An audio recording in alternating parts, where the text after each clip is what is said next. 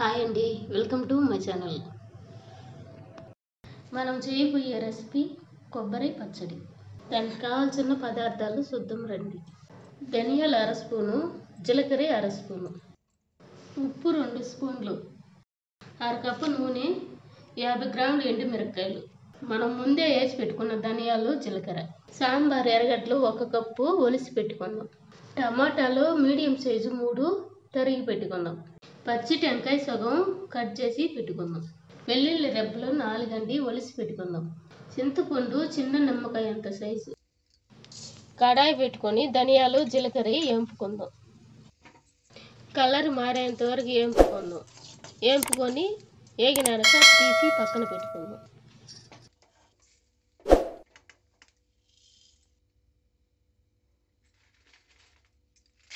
Next ఎండుమిరపకాయలు వేసుకొని కొద్దిగా నూనె వేసుకొని వేంపుకుందాం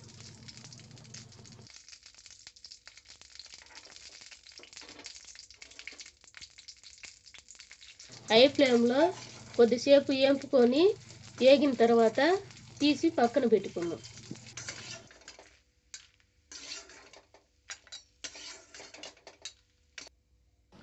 నెక్స్ట్ చిన్న ఎర్రగడ్డలు వేసి వేంపుకుందాం ఎర్రగడ్డలు వేసిన తర్వాత కొద్దిగా నూనె వేసుకొని వేంపుకుందాం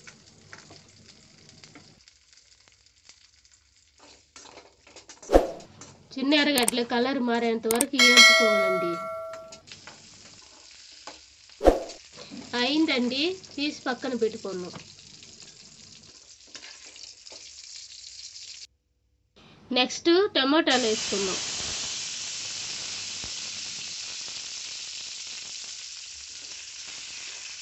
కలుపుకొని కొద్దిగా నూనె వేసుకుందాం.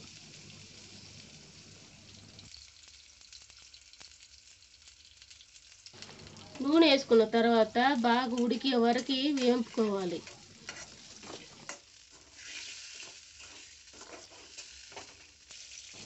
మాడకుండా చూసుకోవాలి.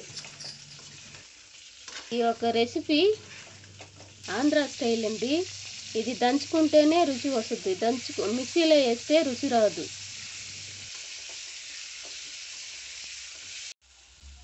టమాటాలు వేగినాయండి. తీసి బౌల్లో వేసి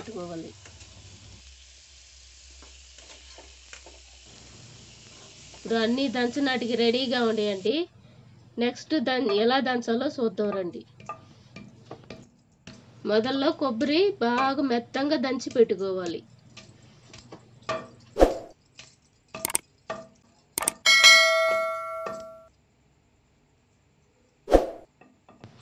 దంచుకున్నాక తీసి పక్కన పెట్టుకోవాలి. ఇంతకు ముందు పచ్చళ్ళు చేసినానండి. మీకు ఏదన్నా రెసిపీ కావాలంటే కమెంట్లో చెప్పండి నేను రెడీ చేసి పెడతాను.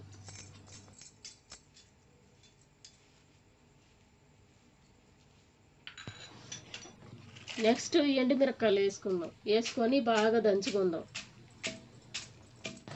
ఈ మసాలా బాగా దంచుకోవాలండి. మెత్తంగా అయ్యే వరకు బాగా నూరుకోవాలండి. నెక్స్ట్ ఉప్పు వేసుకొని బాగా దంచుకుందామండి. దంచుకున్న తర్వాత బాగా నూరుకోవాలండి. నెక్స్ట్ కొద్దిగా చింతపండు వేసుకొని దంచుకుందాం.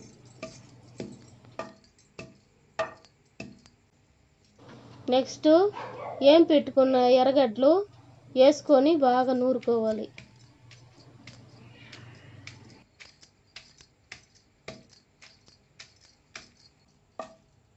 మంచి వాసన వస్తుందండి. ఇప్పుడు ఒకసారి రుబ్బుకుందాం.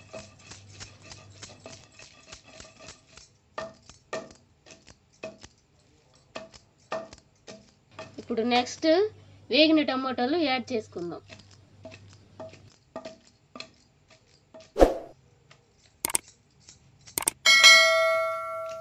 యాడ్ చేసినాక రుబ్బుకుందాం.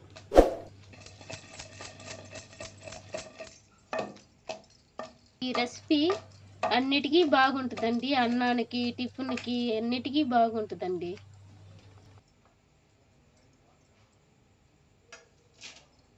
వెల్లుల్లి రెబ్బలు నాలుగు వేసుకొని బాగా దంచుకుందామండి.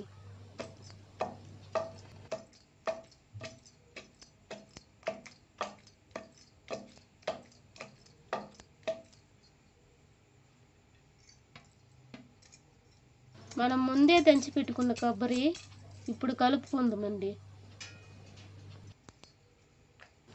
వేసుకొని దంచుకుందామండి.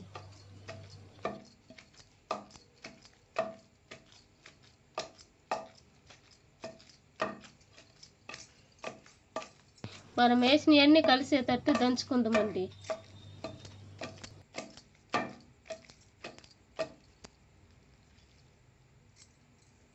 ఇదే అలవులో మీరు ఇంట్లో ట్రై చేసి ఎలా ఉందో కమెంట్లో నాకు చెప్పండి. ఈ పచ్చడికి నీళ్ళు తగలకూడదండి. వేంపుకునేటప్పుడైనా సరే దంచుకునేటప్పుడైనా సరే నీళ్ళు తగలకుండా శుభ్రంగా దంచుకోవాలండి.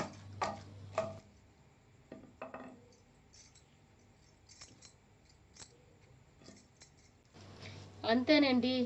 కొబ్బరి పచ్చడి రెడీ అయిపోయింది. తీసి బౌల్లో పెట్టుకోవటమే ఈ పచ్చడికి తాలింపు వేయాలండి. తాలింపు ఎలా వేయాలో చూద్దాం రండి. కొద్దిగా నూనె పోసుకొని నూనె వేడెక్కిన తర్వాత తాలింపు గింజలు వేసుకొని బాగా ఏంపుకుందామండి.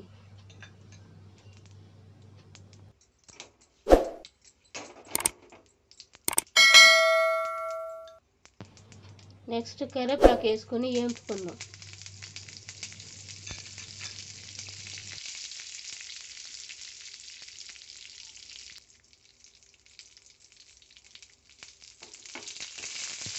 ఈ యొక్క తాలింపు లో ఫ్లేమ్లో చేసుకోవాలంటే ఇప్పుడు కొబ్బరి పచ్చడి యాడ్ చేసుకుందాం. కొబ్బరి పచ్చడి వేసినాక తాలింపులో బాగా ఏంపుకోవాలండి పచ్చి వాసన పోయే వరకు బాగా కలుపుకోవాలండి. ఇప్పుడు రెడీ అయిపోయిందండి తీసి బౌల్లో పెట్టుకుందాం.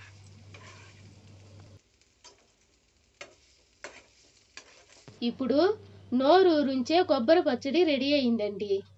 నాకు నోరు ఊరిపోతుందండి నేను ముందే అన్నం వండి పెట్టుకున్నాను. ఇప్పుడు నేను అన్నం తినబోతున్నానండి అప్పులం ఉప్పు మిరకాయ నెయ్యి పక్కన పెట్టుకుని నాకు నోరు ఊరిపోతుందండి తినాలని నేను రెడీ చేసి పెట్టుకున్నాను ఈ ఒక కొబ్బరి పచ్చడి మీరు ఇంట్లో ట్రై చేసి ఎలా ఉందో నాకు కమెంట్లో చెప్పండి. సరే ఉంటానండి. నెక్స్ట్ వీడియోలో కలుద్దాం.